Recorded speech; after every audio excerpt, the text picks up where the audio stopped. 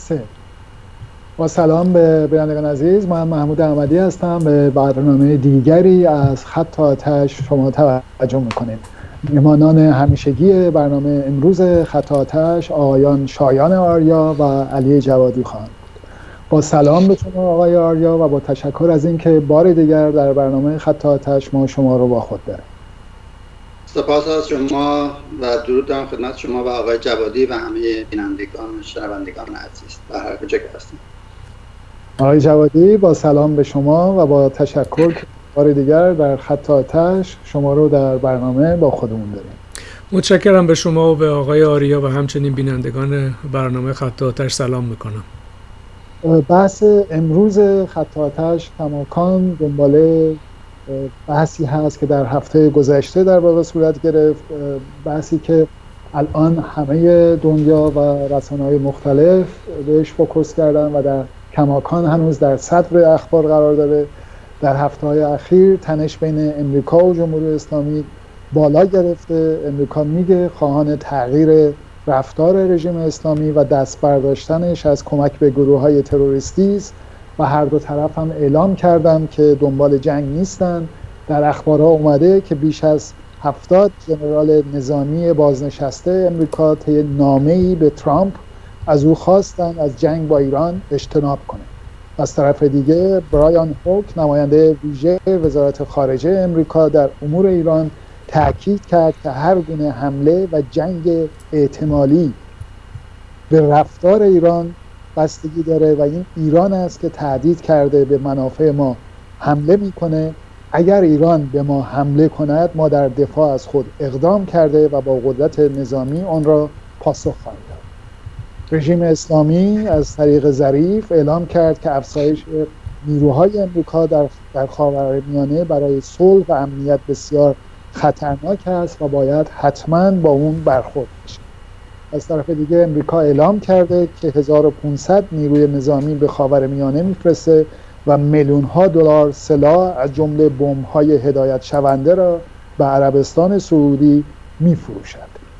این گوشه هایی از اخباری است در ارتباط با تخاصمات بین امریکا و رژیم اسلامی و طبیعیه که مردم در ایران و همچنین افکار بین المللی نگران وضعیتی باشند که با این تخاصم ها و کشمکش هایی که بین دولت جمهوری اسلامی و رژیم ترامپ در جریانه نگران این مسئله باشند علی جوادی من سال اول رو از شما شروع می‌کنم. با این اخبارهایی که الان مطرحه آیا ایالات متحده امریکا در مسیر جنگ با ایران قرار داره ببینید تنش برای جنگ داره افزایش پیدا می‌کنه. اگر به سیر وقایع نگاه بکنیم ما شاهد این هستیم که اقداماتی رو که داره صورت می‌گیره رجزخونی هایی که از هر دو طرف داره صورت می‌گیره بالا رفتن تنش و احتمال کشمکش رو نشون میده. اما کماکان باید تاکید کرد که استراتژی جنگ و به اصطلاح جنگ هدف سیاست های اعلام شده استراتژیک هیچ کدوم از دو طرفین نیست. اما اقداماتی که داره صورت می‌گیره از جمله ارسال 1500 سرباز آمریکایی به منطقه و همچنین آرایشی که جمهوری اسلامی و یا سرداران سپاه در رابطه با مسئله تهاجم احتمالی آمریکا صحبت کردن و غیره تماما بار جنگی رو افزایش داده. اینکه جنگ صورت می‌گیره یا نمی‌گیره. به هر حال من فکر می‌کنم که یک جنگ یک احتمال هرچند که احتمالش بسیار بالا نباشه. اما فاکتورهایی که همونطوری که بارها صحبت کردیم فاکتورهای قاب خارج است. خواست و یا سیاست استراتژیک طرفین می‌تونه به یک کشمکش دامن بزنه و جرقه یک کشمکش باشه. فاکتورهایی که می‌تونن نیروهای سومی هم که یا متحدین آمریکا هستن یا متحدین جمهوری اسلامی هستن و غیره عملا شعله های جنگ رو به اصطلاح شعله بر کنند.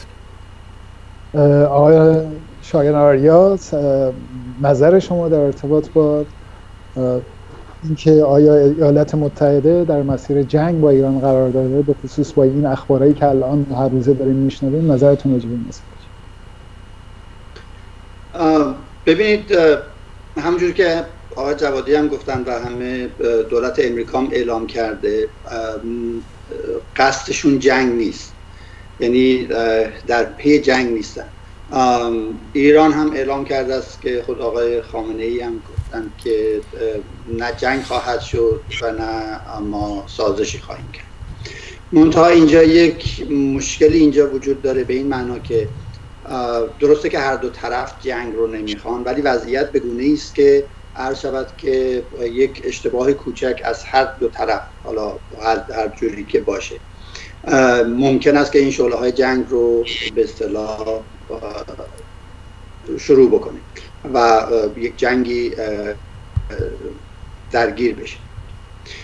مشکل بزرگی که هست به نظر من این هست که اونچه که ایران می‌خواد و اونچه که امریکا می‌خواد. با هم اونقدر متفاوت هستن. حالا از اینکه بگذاریم که جفتشون جنگ رو نمی‌خوان یک درگیری بزرگ رو نمی‌خوان مشکل بزرگ این است که آقای خامنه ای ایران خواستار همین این نه جنگ و نه صلح هستند به این معنا که نمی‌خوان درگیری مستقیمی با امریکا بشه به خاطر که می‌دونن که توانایی مقابله رو ندارن و اونقدر بهشون به اصطلاح ضربه خواهد خورد که حتی نظامشون ممکنه بین بره.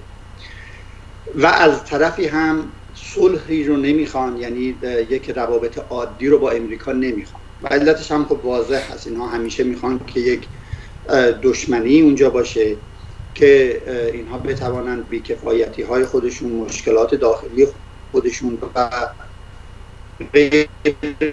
غیره رو عرض امریکا یا تحریم ها یا چیزهای دیگه و سر قدرت هم بمونن. یعنی هم بیکفایتی های خودشون رو توجیه بکنن و همین که سر قدرت باشن و کارهایی که در عرض این چه سال کردن رو ادامه قارا ثروت های ملی است. عرض که دخالت در امورهای منطقه کشورهای دیگر هست و کارهای دیگری که می‌کنه امریکا هم از این طرف عرض که حامی جنگ نیست یعنی دنبال جنگ نیست. ولی هدفش از این فشارهایی که داره میاره و به اصطلاح آرایش جنگی که گرفته عادی کردن رفتار نظام جمهوری اسلامی است. به این معنا که میگن که شما چهل ساله غیر عادی عمل کردید در تمام منطقه آشوب بپا کردید دائما خواستید که منافع امریکا رو بهش ضربه بزنید. منافع متحدین امریکا رو ضربه بزنید و ما دیگه عرض که این رفتار شما رو تحمل نمی کنیم بله. هم به اصطلاح رژیم چینج نیست ولی می‌خوایم بیهیویر شما تغییر پیدا بکنه بله. شما وقتی به این تضاد بین این دو برداشت نگاه بکنید و وقت می‌بینید که هر اشتباه کوچکی ممکن است که این شعله های جنگ رو فروزان در اینجاست. خیلی ممنون. علی جواد شما اشاره کردین که هیچ کدومشون مسئله سیاست جنگ رو ندارن ولی به هر صورت خطر احتمالش هست و هر زمان ممکنه بنا به دلایل مختلف این مسئله صورت بگیره. ما با مایک پمپو و جان بولتن روبرو هستیم که عملا و رسما اعلام کردن که هدفشون تغییر رژیم اسلامی هستش و به نظر اونا اگه فشار اقتصادی حد اکثری نسبت به رژیم اسلامی نتیجه بخش نباشه استفاده از نیروی نظامی دور از ذهن نیست و هر دو اونا از مهرای کلیدی رژیم ترامپ هستن. چرا فکر می‌کنیم که نمی‌تونن امریکا علا رقم این که بر صورت ترامپ گفته مسئله تغییر رژیم در دستور, در دستور کارش نیست و رژیم چنج و مسئله تغییر سیاست تروریستی رژیم اسلامی در خارج از ایران مد نظرش هست. چرا فکر نمی که مسئله خطر جنگ می‌تونه واقعی باشه؟ البته شما گفتیم هست. به نظرم واقعیه. به هر حال یک جناح هیئت حاکمه آمریکا جنگ طلبه جناحی که به نام بولتون و پومپئو ازش اسم می‌برن. تغییر رژیم رو دنبال می‌کنن. به دنبال سیاست تغییر رژیم هستن. همونطوری که در عراق به دنبال سیاست رژیم چنج یا تغییر رژیم بودن. اما آیا اینکه هیئت حاکمه آمریکا در کلیت خودش مستقل از جناهایی که به هر حال وجود دارن قادر هست در لحاظ در دوره حاضر در شرایط حاضر به لحاظ لوجستیک به لحاظ سیاسی به لحاظ آمادگی داخلی و به لحاظ آمادگی بین المللی یک تعرضی رو در دستور بذاره و این دست سیاست رو به اصطلاح کماکان ادامه بده مانند اون اتفاقی که در عراق افتاد. به نظرم این نیست. توان لوجستیکی و سیاسی که برای به اصطلاح لشکرکشی و رژیم چنج در ایران لازم دارن چیزی حدود دو برابر بیشتر از اون چیزی هست یا حداقل مستشاران نظامیشون میگن که در عراق احتاج داشتن. یعنی چیزی حدود 200 و خورده هزار نیروی نظامی پیاده و اعلام کردن که همچین نیروی نظامی رو نمی‌تونن بسیج بکنن و نتیجتا به جنگ هوایی یا برفرض تعرض موشکی بسنده خواهند کرد و یه همچین آرایش خواهند گرفت. و این سیاست تناقضی داره با رژیم چنج. بمباران هر چقدر بکنه جامعه رو ویران می‌کنه صدمات به اصطلاح وحشتناکی رو به جامعه وارد می‌کنه مردم رو قربانی می‌کنه. اما رژیمی که اونجا هست به هر حال کماکان به خاطر موقعیت سیاسی و نظامی که عدم تناسب با مردم وجود داره می‌تونه کماکان سر جای خودش علیرغم اراده مردم باقی بمونه. و این اون مسئله هستش که جنرال های آمریکایی بعضا دارن تاکید می‌کنن که وارد شدن وارد فاز نظامی در این کشمکشی که در حال حاضر وجود داره به سود آمریکا نیستش. اما در عین حال جناهای دیگه هستن که خواهان این هستن که بهانه به دست بیارن یا بهانه درست بکنن. اینا واقعیات متفاوتی هستند که در تناقضات این سیاست رو نشون میده. اما کلیتا فکر می‌کنم که در دستور ندارن. به اون طرف مثلا نگاه بکنیم موقعیتی رو که خامنه ای بر مبنای سیاست نه جنگ نسازش بلکه مقاومت به اصطلاح فرمول بندی می‌کنه موقعیت به شدت ناپایداری هستش. رژیم جمهوری اسلامی نمی‌تونه روی این فرمول بندی روی این استراتژی دووم بیاره. هرچند که امیدهای واهی بسیاری دارن چرا که در مقابل مردمی در اساس مواجه هستش که به کمین جمهوری اسلامی نشستن و هر درجه عقب نشینی جمهوری اسلامی سوت تعرض مردم رو بر علیه جمهوری اسلامی می‌کشه و مردم می‌تونن به جمهوری اسلامی تعرض بکنن. سیاست بله. نجنگ نسازش سیاست ناپایداری برای حکومت آدمکشان جمهوری اسلامیه. بله. شایان آریا شما در صحبتاتون به این اشاره کردین که در واقع هدف امریکا از فشارش بر روی جمهوری اسلامی مسئله عادی کردن رفتار رژیم اسلامی است و دست برداشتن است از کمک به گروه های تروریستی و خود دولت ترامپ هم عملا این رو اعلام کرده و ما هم می‌دونیم که این با هویت رژیم اسلامی در واقع خانایی نداره و فلسفه حکومتی رژیم اسلامی بر مبنای همین سیاست ها بر مبنای سیاست تروریستی و مسئله شعار بر علیه امریکا و غیر ذالک در واقع بنا شده. شما فکر می‌کنین که به هر صورت این روند به کجا ختم خواهد شد؟ رژیمی که عملا دست از اون رفتارش بر نخواهد داشت و اینکه این تخاصمات هم به هر صورت به این شکل ادامه خواهد داشت. روند به کجا میره ببینید اون که امریکا در پیش هست همونجوری که عرض کردم تغییر رفتار رژیم هست. منتها این استراتژی که به اصطلاح در پیش گرفتن یعنی از یک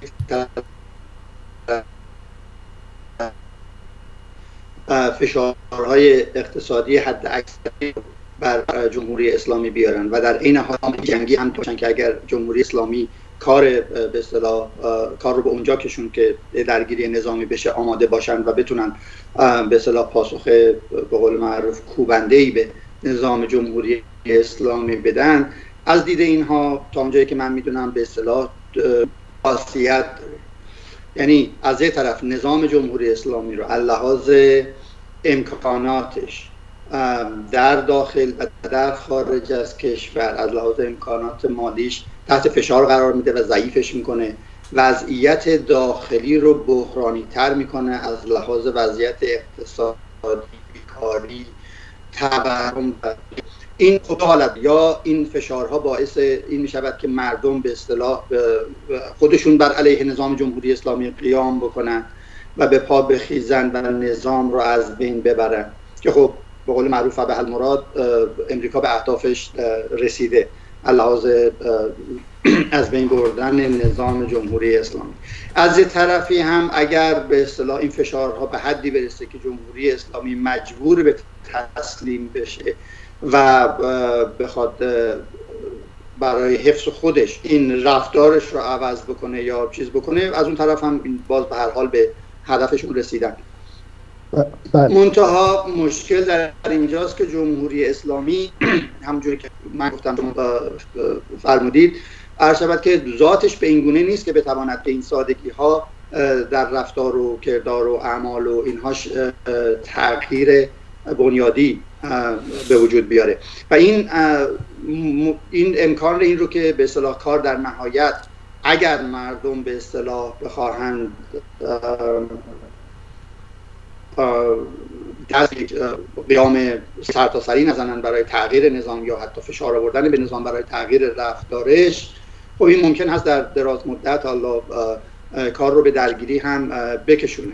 بله. ولی فعلا اینجوری که به نظر میاد امریکا قصد این رو نداره که بخواد عقب بنشینه و یا بدون یک تعهدات واقعی بخواد دست از این فشارها برداره. و این خب موقعیتی است که به اصطلاح قابل دوام نیست. حالا دیر یا زود به هر حال یک، یکی از این دو طرف باید به پلک بزنن و عقب نشینی بکنن آقای ترامپ به نظر نمیاد که این کار بخواد بکنه چون دست بالاتری رو داره.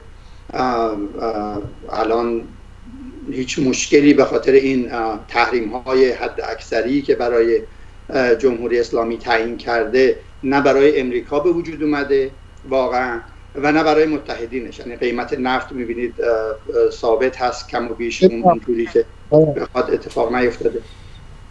بله علی جوادی شما در ارتباط با اینکه دعوای امریکا و ایران بر صورت قراره به چه شکلی حل بشه اگه این روند همینجور ادامه پیدا بکنه و هیچ کدومشون به اهدافی که برای خودشون در دارن در ارتباط با این تخاصمات نرسن همون نکاتی که در ارتباط با آقای سوال برای مطرح کردن شما فکر می‌کنید این دعوا بالاخره به چه شکلی قرار حل بشه ببینید دو تا طرح وجود داره. یکی اینکه یه سوال اساسی به نظرم این هستش که آیا نقطه سازشی میان آمریکا و جمهوری اسلامی وجود داره؟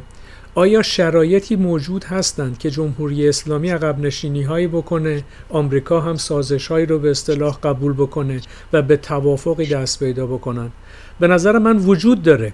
هرچند که محتمل نیست چرا که یه طرف قضیه که به اصطلاح جمهوری اسلامی باشه امید واهی خودش رو به فردای انتخابات آمریکا به اصطلاح گره زده و اینکه کاندیدای دیگه ای از حزب دیگه ای به اصطلاح بتونه زمام اون رو در دست بگیره. و اینکه جمهوری اسلامی با عقب نشینی های تاکتیکی که بکنه این امکان برای آمریکا وجود داره. همونطوری که ترامپ اعلام کرده بود که ما فقط هیچ پیش شرطی رو علیرغم دوازده شرطی رو که به اصطلاح پومپئو اعلام کرده بود نمی‌ذاریم و حاضریم مثلا سر مسئله موقعیت لوجستیک موشکی موشک های بالستیک جمهوری اسلامی بحث بکنیم و به توافق برسیم. و این رو قبول کرده بودن این امکان وجود داره که نقطه سازشی میان این دو نیروی مرتجع در مقابل هم وجود داشته باشه. اما اون چیزی که وجود نداره این هستش که نقطه سازشی میان مردم و جمهوری اسلامی وجود نداره و اتفاقا راه حل تخاصمات آمریکا و جمهوری اسلامی در دست طرفین اینا نیست. نه آمریکا می‌تونه از موقعیتی رو که به اصطلاح با علم کردن جمهوری اسلامی برای دشمن تراشی در سطح بین المللی بهش احتیاج داره دست برداره متحدینش در منطقه اسرائیل عربستان و غیره. و نه جمهوری اسلامی که ذاتا یک سیاست ضد آمریکاییگری کور و ضد انسانی رو تماما دنبال می‌کرده.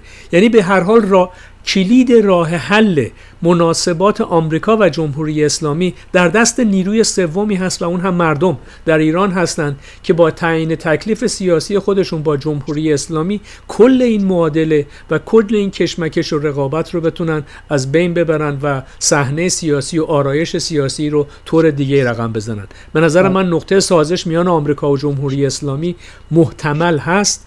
غیر ممکن نیست الزاما بلکه اما مسئله تماما برمیگرده به اینکه مردم در مقابل این معادله عکس العملی نشون میدن. آقای شما در صحبت قبلیتون در ارتباط با اهداف سیاست ترامپ به این اشاره کردین که عملا سیاست ترامپ در مقابل رژیم اسلامی به خصوص با تحریم های اقتصادی حد اکثری که به کار گرفته این سیاست در واقع باعث تضعیف رژیم ایران شده و همچنین از نظر داخلی هم به خاطر مسئله وضعیت بیکاری گرانی و غیر که مسئله تحریم اقتصادی تونسته رو این وضعیت تاثیر بذاره عملا اعتراضات هم توی ایران ممکنه گسترش پیدا بکنه. اگه این نکات رو ما به رسمیت بشناسیم آیا سیاست حزب شما و نکاتی که مطرح کردین به معنای دفاع از سیاست ترامپ نمی‌تونه باشه چون به خاطر اینکه عملا سیاست ترامپ باعث تضعیف رژیم اسلامی میشه. ببخشید. خواهش که ببینید ما همیشه از اینکه به, فش... به نظام جمهوری اسلامی فشار وارد بشه حمایت کردیم. از جنگ حمایتش وقت نکردیم هنوز هم نمی کنیم به خاطر اینکه اون رو مفید نمی‌دونیم و دلیلی نمی بینیم که بخوایم از حمله فرض فرمد امریکا حمایت بکنیم. اونچه که ما حمایت کردیم و می‌کنیم این هست که نظام جمهوری اسلامی تحت فشار قرار بگیره. امکاناتش تا حد اکثری گرفته بشه که نتونه به اصطلاح هم در سرکوب داخلی و هم در ماجراجویی های خارجی که نهایتا به درگیری نظامی منجر خواهد شد ادامه بده. و از این در این بین هم اونچه که ما همیشه خواستیم و دنبالش هستیم و مردم رو تشویق می‌کنیم مردم به دست خودشون بگیرن بر علیه این نظام جمهوری اسلامی اقدام بکنن و خودشون این نظام رو به اصطلاح به زیر بکشن. اون این سیاست ما بوده هست و خواهد. حالا اینکه مثلا ما شما بگید که ما از سیاست ترامپ حمایت می‌کنیم نه ما از سیاستی حمایت می‌کنیم که ایرانیان رو کمک بکنه از مردم ایران حمایت بکنه نظام جمهوری اسلامی رو تضعیف بکنه و این فرصت رو به مردم ایران بده که خودشون سرنوشت خودشون رو به دست خودشون بگیرن و از شر این نظام که تمام هستی و نیستی ایران رو به تاراج برده و همه چیز ایران رو به خطر انداخته هر شود که نجات پیدا بکنن. حالا اگر مردم این کار رو کردن خب به حال مراد. اگر نکردن اون وقت دیگر واقعا نمی شود که میگم ایراد گرفت که چرا دیگران به اصطلاح اقداماتی کردن. به هر حال امریکا به دنبال منافع خودش هست. گاهی اوقات این منافع به هم سو و هم تراز با منافع مردم ایران می شود و مردم باید این رو بفهمند و ازش استفاده بکنن بله. اگر نفهمند و نکنند خب به قول معروف اشتباه تاکتیکی خودشون هست ولی نمی شود یعنی ما بله. چیزی نداریم که به امریکا بخوایم بگیم که شما بیا برای ما نظام رو عوض بکن و ما هیچ کاری نکنیم بشینیم کوشه خونه هامون با سلام و صلوات یک نظام بهتری رو برامون بیارن که این اتفاق نخواهد افتاد اگر هم بیفتد اون چیزی که احتمالا ما خواهیم خواست یا مردم ایران می‌خوان نخواهد بود. بله، و این به هر حال به دست مردم ایران است. ولی ما چیز خاصی با سیاست جنگ نداریم. مخالفیم. خیلی ممنون. روشن صحبتون آقای علی جوادی شما در ارتباط با سیاست ترامپ اگه منجر به تضعیف رژیم جمهوری اسلامی بشه و روند فروپاشی رژیم اسلامی رو تسریع تر بکنه نظرتون چیه؟ ببینید سیاست ترامپ تغییر جمهوری اسلامی نیست بلکه رسیدن به توافق با جمهوری اسلامیه. هدف از اعمال فشارهای اقتصادی تحریمهای گسترده و حتی آرایش نظامی گرفتن اینه که با این اوباش اسلامی هیئت حاکمه آمریکا به توافق برسه که برای انتخابات دور بعدی ترامپ در آمریکا بتونه به اصطلاح برگ برنده باشه. ذره منفعت مردم آزادی مردم رفاه مردم درد و رنج و مهنتی که این مردم می‌کشن برای آدمی مثل ترامپ یا هیئت حاکمه آمریکا توی معادله بخشی از متغیرهای یک معادله سیاسی نیست. شاید به اصطلاح تو تبلیغاتشون اشاره ای بکنن. اما واقعیت چیز دیگه ای هست. ما هیئت حاکمه آمریکا رو می‌شناسیم همونطوری که هیئت حاکمه جمهوری اسلامی تیغش بر پیکر ما از ابتدای شکلگیری خونین خودش به اصطلاح وارد شده و زخماش بر بدن جامعه و بر بدن ما کماکان روشن هست. و قابل رویت هستش.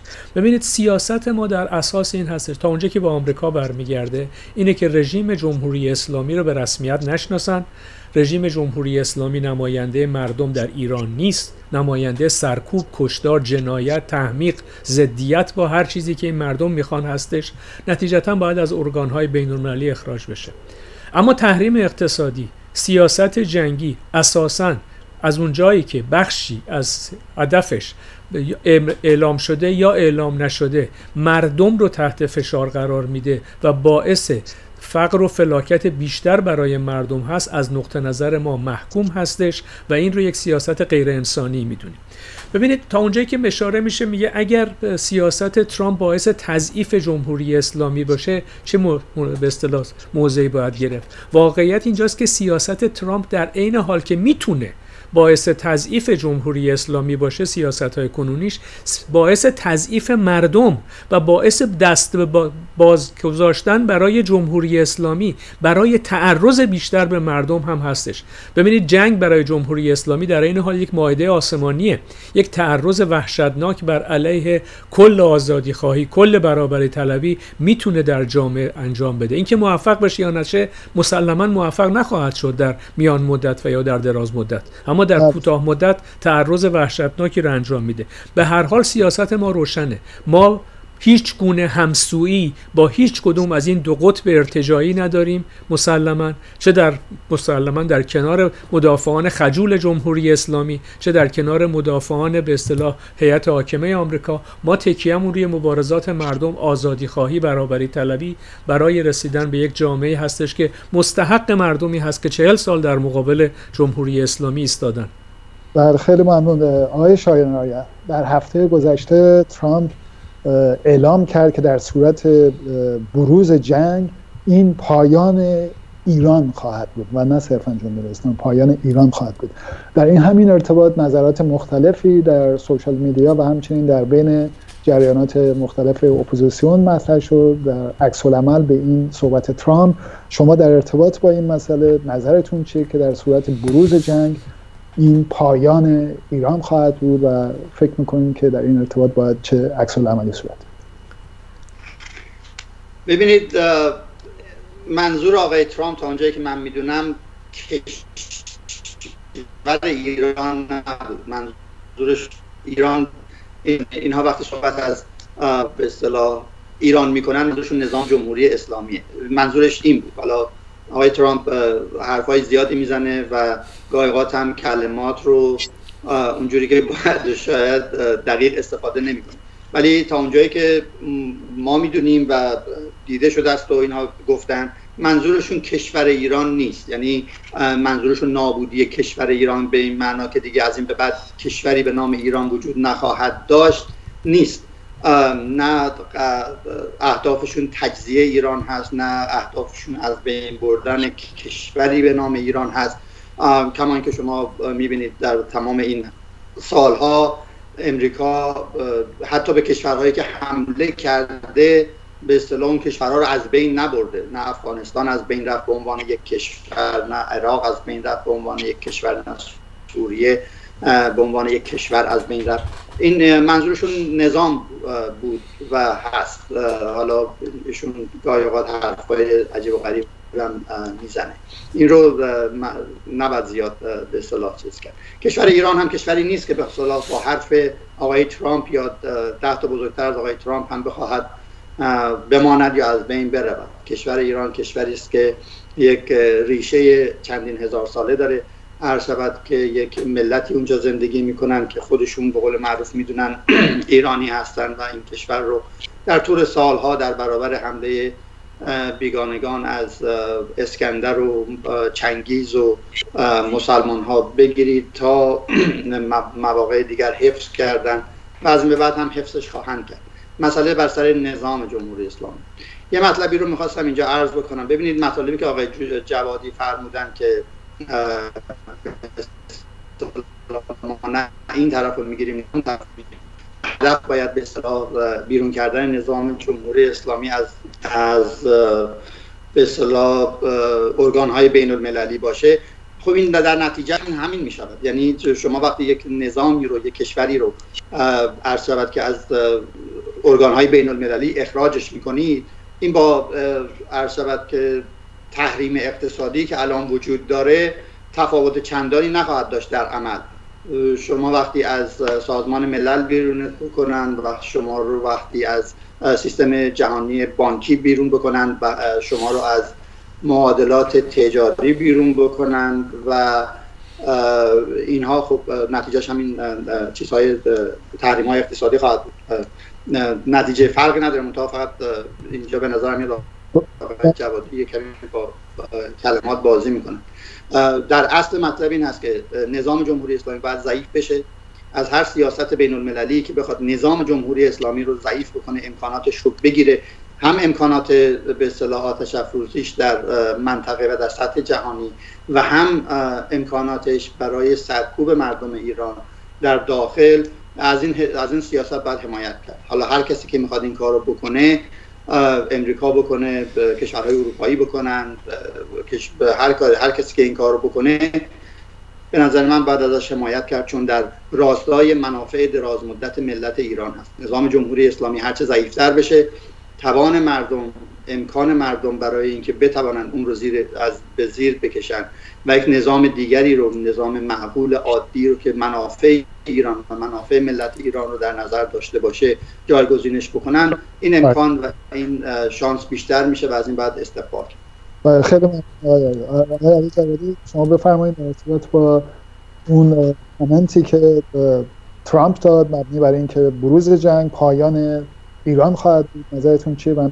نکات دیگه که ببینید این تبلیغاتی که ترامپ انجام داده عین تبلیغاتی هستش که جمهوری اسلامی در قبال اسرائیل انجام میده. اساسا میگن که می‌خوان اسرائیل رو از روی صحنه تاریخ و صحنه جغرافیا حذف بکنن. یک تبلیغات آنتیسمیتستی ضد انسانی کور هستش و اینجا تمایزی بین مردم در اسرائیل و هیئت حاکمه اسرائیل به اصطلاح قائل نمیشن. سیاست کور ضد انسانی جمهوری اسلامی در قبال آمریکا هم می‌دونیم شعار مرگ بر آمریکا یعنی شعار بر مرگ بر کلیت اون چیزی که آمریکا هست از مردم در آمریکا و هیئت حاکمه آمریکا. ترامپ هم همین سیاست رو اعلام کرده.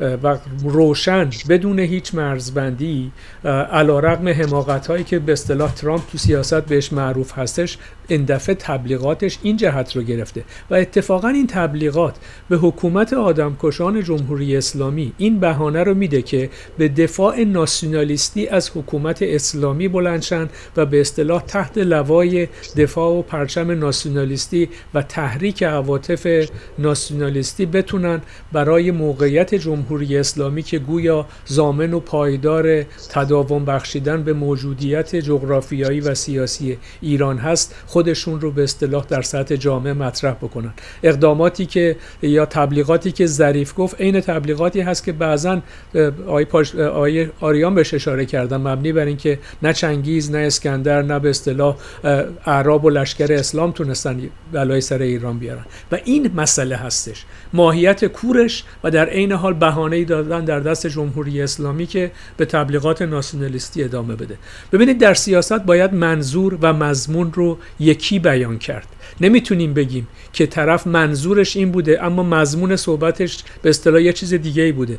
منظورشون افراد بالغ که در رأس هیئت حکمه قرار گرفتن با مضمون صحبتاشون باید بتونن تطابق بدن و اون چیزی رو که بیان می‌کنن باید به اصطلاح مبنا قرار داد. به هر حال ما شاهد تب و این یکی از عوارض سیاست های جنگ طلبی هست که وقتی که بالاتر میره فاز و دوسجش به اصطلاح بیشتر میشه تبلیغات کور و ضد انسانی ماهیت اون کشمکش هم بیشتر روشن میشه. در رابطه با جمهوری اسلامی هم همین هستش. تبلیغاتی که بر علیه اسرائیل می‌کنن اسرائیل رو از جغرافیا حذف می‌کنیم. مردمشون رو به دریا میریزیم. غیره و غیره. این تبلیغات کور ترامپ هم با کش دامن زدن به کشمکش های میان این دو نیروی ارتجایی عملا توی همون زمین داره گام برمیداره علی جوادی راجع به نکته دیگه ای که آقای آریا مطرح کردن اگه نکته می‌خواین بگین من بهتون یه دقیقه وقت میدم. ببین در رابطه با مسئله سیاست تحریم اقتصادی و مسئله تحریم سیاسی کاملا متفاوته.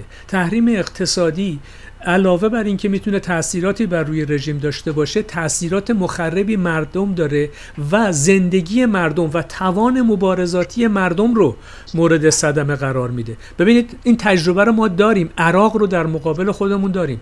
ده سال تحریم اقتصادی به اصطلاح نفت در برابر غذا کشتار ماهانه نزدیک به پنج هزار نفر از سالمندان و بیماران و کودکان رو به دنبال داشت. و اینکه رژیم صدام حسین دست نخورده باقی مونده و بیشترین استفاده را از جنگ کردن. همونطوری که امروز از تحریم های اقتصادی سپاه و اوباش و سران به اصطلاح مافیایی حکومت سرمایه اسلامی در ایران دارن بیشترین منافع رو می‌برن و مردم در عین حال متضرر میشن. این تفاوت هستش. هر گونه تعرضی به جمهوری اسلامی چنانچه باعث تعرض به مردم بشه سیاست غیر انسانی هستش. مرسی آیا آریا بخشی از اپوزیسیون در ایران. و نه صرفا بخشی از اپوزیسیون رژیم اسلامی در ایران بلکه در سطح خارج از کشور هم در ارتباط با جریانات غیر ایرانی ما با این تبلیغات در مقابل جنگ احتمالی روبرو هستیم که این رو مطرح می‌کنن. باید در مقابل قلدری و تجاوزگری امپریالیستی دولت امریکا باید ایستاد و صف کشید. و این رو مطرح می‌کنن که نگاه بکنید که عملا دولت امریکا با سیاست های خودش خاور میانه رو نابود کرده و الان هم با سیاست های قلدر معابانه خودش دست داره می‌ذاره رو ایران در ارتباط با این سیاستی که جریانات ضد امریکایی صرف مطرح می‌کنن شما نظرتون چیه؟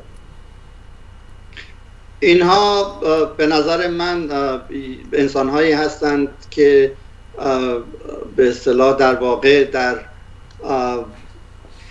نمی‌دونم در این قرن زندگی می‌کنن در قرنهای گذشته زندگی می‌کنن من واقعا نمی‌دونم من نمی‌فهمم که اینها روی چه حساب این صحبت ها رو می‌کنن. این این ضدیت کور با امریکا و اونچه که اینها امپریالیزم مینامند و اینها در عمل اونچه اگر نگاه بکنید می‌بینید که این ضدیت کور با امریکا به هیچ کس نه به امریکا ضرری زده است نه اتفاقی افتاده است تنها کاری که کرده است ایران رو نابود کرده است تمام منطقه رو نابود کرده است.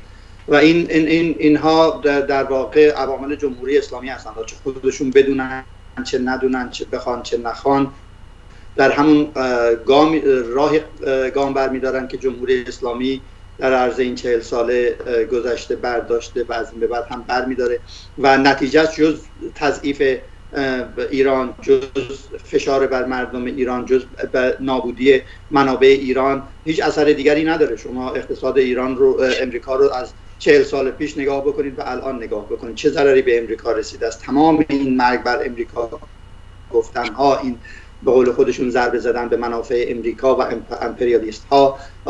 چه ضرری زده است به امریکا؟ امریکا در از این چهل ساله جنگ سرد رو بعد برد بزرگترین دشمنش که اتحاد جماهیر شوروی بود از بین رفت. تمام کشورهایی که دشمن امریکا بودن و دشمنی می‌کردن اینها بسیارشون تغییر روش دادن و به اصطلاح به راه امریکا اومدن متحدینش از هر زمان دیگری قوی تر هستن. اینها اینها شعارهایی است که برای تحمیق مردم گفته می شود که ما بعد در برابر امپریالیسم بیستیم. ما چه دلیل داره بعد در برابر این, این چیزی که اینها میگن امپریالیسم امریکا بیستیم؟ کشور ایران یک سری منافعی داره که این منافع در راستای منافع مشترکی می‌تونه باشه با امریکا و یا با هر کشور دیگری. از این من از این منافع مشترک باید استفاده کرد. همونجوری که ایران فرض فرمایید در زمان علازت فقید این کارو می‌کرد. منافع مشترکی با امریکا داشت ازش استفاده می‌کرد. منافع مشترکی حتی با اتحاد جماهیر شوروی داشت ازش استفاده می‌کرد تا اونجایی که می‌تونست. با کشورهای منطقه همینطور این این این کاری است که همه کشورهای معقول و عادی و نظامهایی که عادی هستن معقول هستن ایدئولوژیک نیستن و به اصطلاح مذهبی فکر نمی کنن فرق نمی‌کنه. شما مذهبی وقتی فکر کنید حالا چه این مذهبتون اسلام باشه چه ضدیت با امریکا و جنگ با اون که امپریالیسم مینامند باشه. فرق نمی‌کنه. وقتی مذهبی فکر بخواین فکر بکنید و این براشون برای شما یک بود با امریکا که حاضرید همه چیز رو فدای اون بکنید و پای این بود قربانی بکنید. خب نتیجهش همین می شود که شما الان می‌بینید. اینها جز اینکه در راه جمهوری اسلامی قدم بردارن هیچ کار دیگری انجام نمیدن. هیچ نتیجه هم نداره. اینها به نظر من یا ناآگاه هستن یا مزدور. بله خیلی من دو حال بدون بیرو در هیچ چیزی نداره. اجازه بدید نظر علی جوادی رو جواب بشیم علی جوادی در ارتباط با این, این سوالی که مطرح کردم جریانات ضد جنگ در خارج از کشور و همچنین بخشی از اپوزیسیون در ایران که این رو مطرح می‌کنن باید در مقابل قلدری و تجاوزگری امپریالیستی امریکا ایستاد. ببینید اجازه بدید من صحنه رو یه مقداری ترسیم بکنم. صحنه ای که باش مواجه هستیم این هستش که نیروهایی که از پیش از به بالا گرفتن خطر جنگ. در حمایت از جمهوری اسلامی یا در تلاش برای اصلاح, اصلاح حکومت آدمکشان جمهوری اسلامی سازمان یافته بودند تلاش می‌کردند در دوره هم که خطر جنگ افزایش پیدا کرده به طور روشنتر و واضحتری از موجودیت حکومت اسلامی دفاع می‌کنند و سیاست های خودشون رو به دلایل متفاوت سعی می‌کنن توجیه بکنن. در اینجا دست گذاشتن روی به اصطلاح قلدری میلیتاریز جنگ طلبی آمریکا در سطح غیره. اما اساس سیاستشون کماکان چه در زمان به اصطلاح برجام برجام پیش از برجام بعد از بار پاره شدن برجام و غیره و اینا حمایت از حکومت جمهوری اسلامی و چه در مقابل مردم و چه اونجایی که به اصطلاح آمریکا اگه بخواد تعرضی رو انجام بده و یا کشمکش بالا بگیره. اینا زمانی که مردم به جمهوری اسلامی هم تعرض می‌کردن از حکومت دفاع می‌کردن. جز اصلاح طلبا بودن و به اصطلاح در مقابل زیاده روی مردم و یا خشونت مردم قیام مردم و غیره همین مواضع ضد انسانی و ضد به اصطلاح آزادی خواهی و برابری طلبی رو داشتن. اینا مدافعان جمهوری اسلامی هستن. اما اون طرف تصویر هم نیروهایی هستند که همسو با هیئت حاکمه آمریکا صرفا در مقابله با جمهوری اسلامی قرار دارن و متکی میشن. به سیاست آمریکا. شاید آقای شایان آریا به درجه سیاست خودشون رو متفاوت بکنن. اما ما نیروهای دست راستی رو می‌شناسیم که در صف سلطنت طلبان و نیروهای راست پروغربی وجود دارن که خواهان تکرار سناریوی آمریکا در ایران هست. در همونطوری که آمریکا به عراق حمله می‌کرد شعار تنکیو بوش تنکیو بوش به اصطلاح زبان زده این نیروهای دست راستی بود. اما تا اونجایی که به واقعیت برمیگرده ما نیروی هستیم که در مقابل هر دو قرار داریم. تا اونجایی که به ایران برمیگرده هدف ما سرنگونی جمهوری اسلامی هست. بدون هیچ گونه همسویی با سیاست های هیئت حاکمه آمریکا. چرا که می‌دونیم آبی از هیئت حاکمه آمریکا برای مردم گرم نمیشه. امیدی هم نداریم سازش و به اصطلاح هیچ توهمی هم نداریم. سرابی هم بهش دوچار نشدیم. در رابطه با مسئله جنگ در عین حال نباید اجازه بدیم. این نیروهای مدافع خجول و یا غیر خجول جمهوری اسلامی بتونن تو خارج کشور مردم صلح طلبی رو که تجربیات جنگ آمریکا و یا جنگ های منطقه را دیدن بتونن به زیر پرچم خودشون بیارن. ما باید با پرچمی به میدون بیایم که نه در مقابل جنگ باشه نه در مقابل جمهوری اسلامی باشه و برای آزادی و برابری و رفاه مردم تلاش بکنه. من فکر می‌کنم بشریت متمدن که جنگ طلبی آمریکا و میلیتاریزمش رو دیده در تجربه ویتنام در تجربه عراق به اصطلاح ترسیده. از ریسمون سیاسفید میترسه. در این حال توحش اوباش اسلامی تروریسم کور و کثیف ضد انسانی جمهوری اسلامی که پدرخوانده تروریسم اسلامی در سطح خاورمیانه و منطقه هست هم دیده و ما بیشتر باید بهش تاکید بکنیم روشن بکنیم و بگیم هیچ منفعتی در هیچ دو سوی این جدال ندارن. باید خارج از اینها به اصطلاح پرچم سومی رو بلند کنن که در مقابل هر دو نه به جنگ نه به جمهوری اسلامی برای دفاع از آزادی و برابری در کلیت جامعه ایران باشه. این اون پرچمی هستش که مردم در ایران می‌تونن بهش متکی باشن و امیدی برای تحولات بهش داشته باشن.